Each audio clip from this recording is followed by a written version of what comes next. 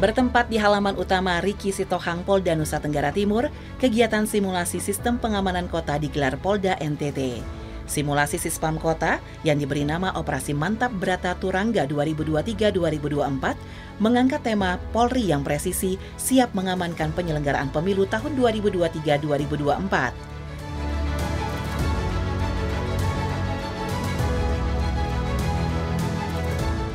Simulasi Sispam Kota merupakan bagian dari persiapan Polda NTT dalam pelaksanaan pengamanan pemilu serta untuk memastikan keamanan dalam seluruh tahapan pemilu. Kapolda NTT, Irjen Polisi Joni Asadoma, mengajak masyarakat untuk bersama-sama mendukung dan menciptakan suasana aman, tertib, lancar, dan nyaman selama pemilu. Pada penyelenggaraan tahapan pemilu, Polda NTT juga menekankan perlunya menjaga objek wisata dan mengantisipasi berita hoax melalui Satgas Nusantara yang sudah terbentuk.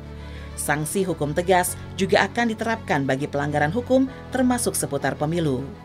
Tim Humas Polda NTT melaporkan untuk Polri TV.